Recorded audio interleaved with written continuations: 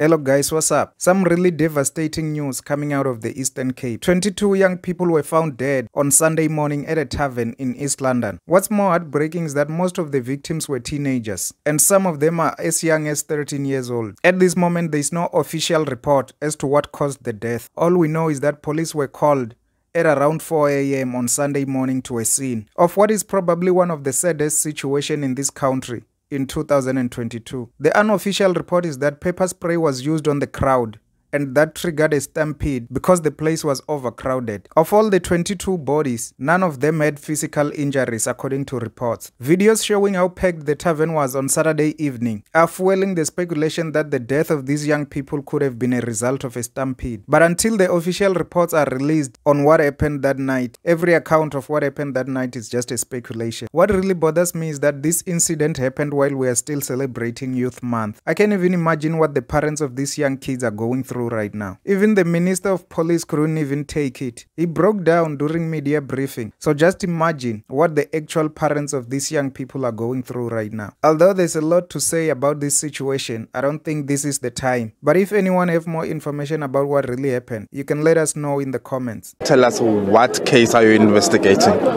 At this stage, the with our investigating officers are still combing the place, uh, trying to find out exactly. They will advise us very soon uh, before we leave this place in terms of what exactly is going to be investigated. Uh, what I can say is that the report for now indicate that uh, there there is an alleged there was an alleged uh, stampede inside the tavern here at Luyolweni Tavern. For now, the forensics uh, investigators are busy combing the scene, the crime scene.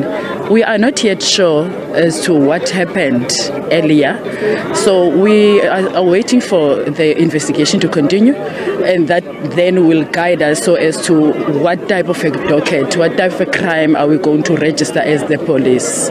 Um, can do you know what time exactly during the late hours of the morning this happened? Well, we received the calls at about uh, four o'clock. Uh, that is what I was told. Um, what time the incident happened, we don't know. We, as I'm, I'm saying, we're still uh, interviewing some people that were on the crime scene uh, just to check what time did it happen, what time was the place supposed to close, and all that. We're still processing that. Thank you so much for watching this video. If you haven't subscribed to the channel yet, please subscribe. If you have already subscribed to the channel, please turn on notification. If you have already turned on notifications you're awesome and i want you to know that i appreciate you. Thank you. See you in the next video